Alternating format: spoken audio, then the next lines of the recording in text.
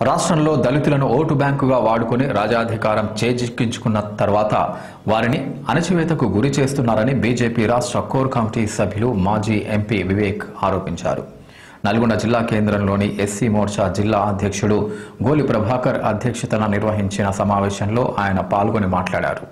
తెలంగాణ ఏర్పడితే దళితుడిని సీఎం చేస్తానని కేసీఆర్ నమ్మించి మోసం చేశారని ఈ సందర్భంగా వివేక్ ఆరోపించారు.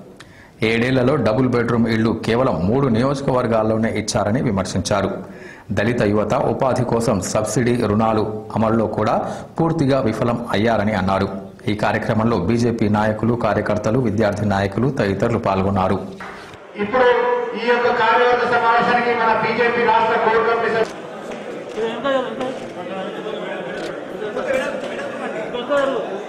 ప్రభాకర్ అన్న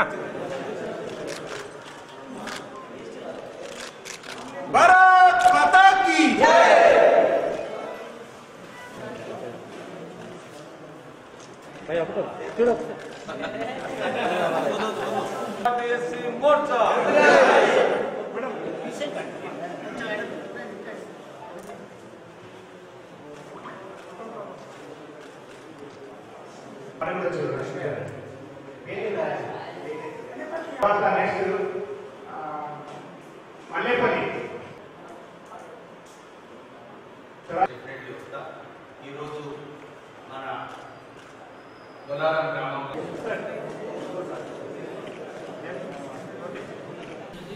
ఈరోజు అంబేద్కర్ స్టాచ్యూ ఇనాగ్రేషన్లో అందరూ దళితులు అడుగుతున్నారు అరే మా డబుల్ బెడ్రూమ్ ఇల్లు ఏమైంది? మా మూడు ఎకరాల భూమి ఏమైంది?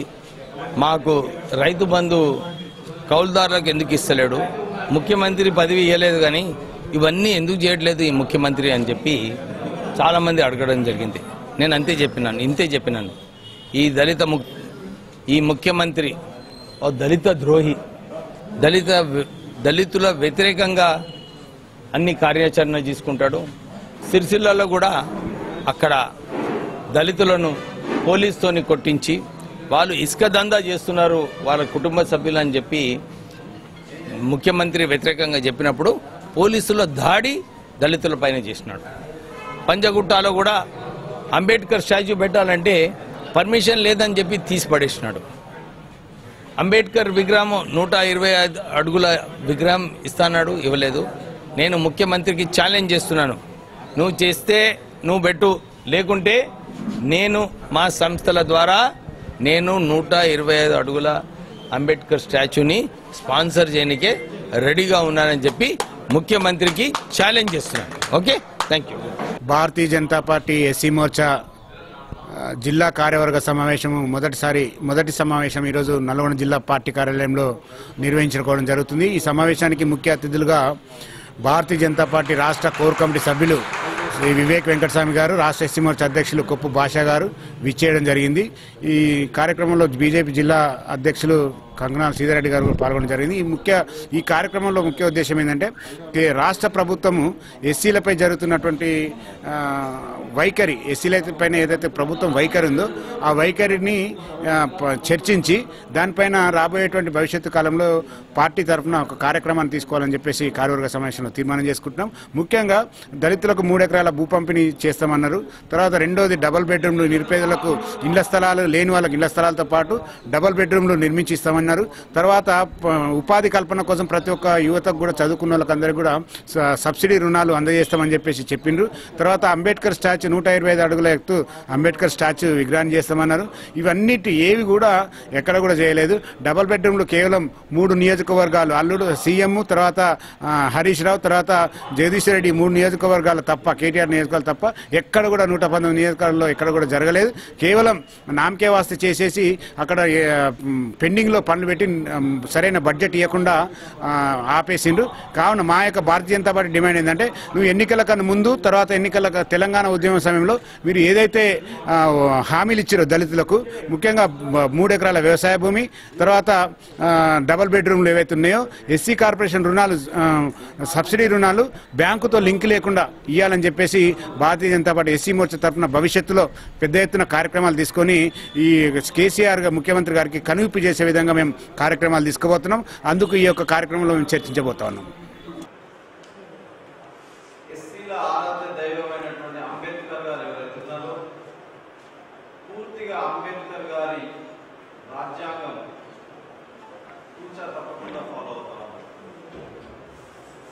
అంబేద్కర్ గారిని గౌరవించినటువంటి ఏకైక పార్టీ ఏదైతే ఉందంటే అది కేవలం